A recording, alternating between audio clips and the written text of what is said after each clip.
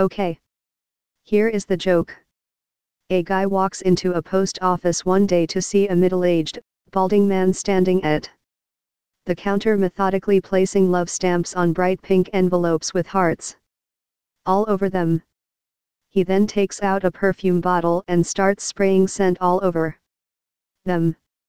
His curiosity getting the better of him, he goes up to the balding man and asks him what he is doing.